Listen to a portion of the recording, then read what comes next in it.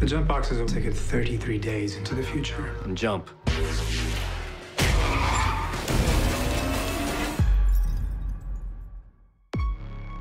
Do you ever think about what you would do differently if you had a second chance?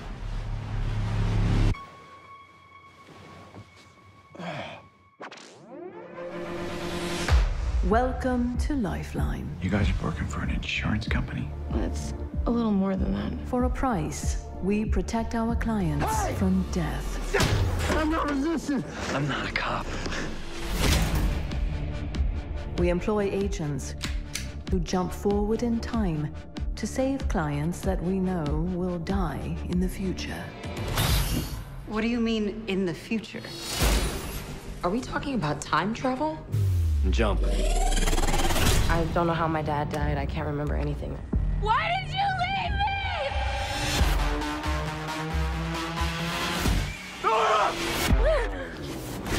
did you know my name? Who are you? So, if I'm gonna die, you'll always come and save me. Yeah. Lifeline is not saving lives. They're playing God for a profit.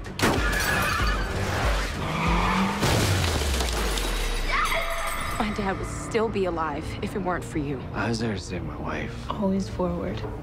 Together. Together. Hey! No! Can that machine go back in time?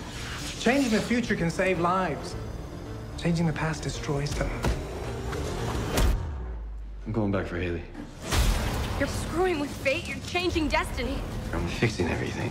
It's my life. I want to be in control. Go back in time. Save your dad. Three. Take everything offline.